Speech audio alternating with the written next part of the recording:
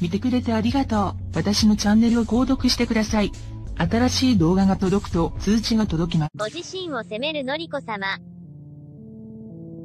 11月6日、秋篠宮ご夫妻はのりこ様の父親で学習院大名誉教授の川島達彦氏、去年81の葬儀に参列された。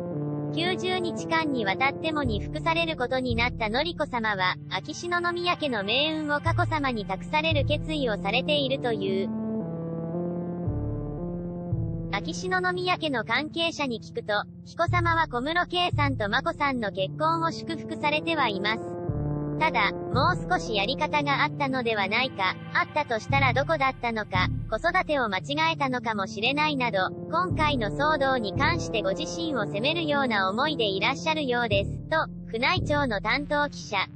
秋篠宮家と小室宿が顔合わせをした後、様々なやりとりの中で K さんの母、佳代さんは元婚約者の存在や元婚約者からの送金の事実について伝えており、秋篠宮ご夫妻は問題ないと判断されたと言います。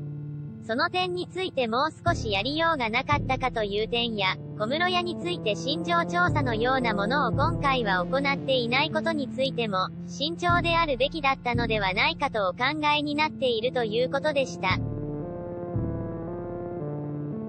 民間人としてどう生きるべきか。子育てについてはどうか、眞子さんは本当にピュアな方です。今回の結婚についても、好きな相手と一緒にいたい、結婚して子供を産み家庭を作っていきたい、皇族であろうとなかろうとそう考えることは自然ではないのか、というふうに自身に考えをご夫妻にぶつけてきたと言います。先の記者、秋篠宮様や典子様は、国民の理解あっての皇室であることや、悠仁様という将来の天皇陛下の姉君という立場の重大さについて説得を続けられたという。それが眞子さんの心に響いた可能性はあるが、心を動かすまでには至らなかった。眞子さんや佳子様はこれまで、あなたたちはここから出ていく立場の人たちなのですよ、とご夫妻から言われて育ってきました。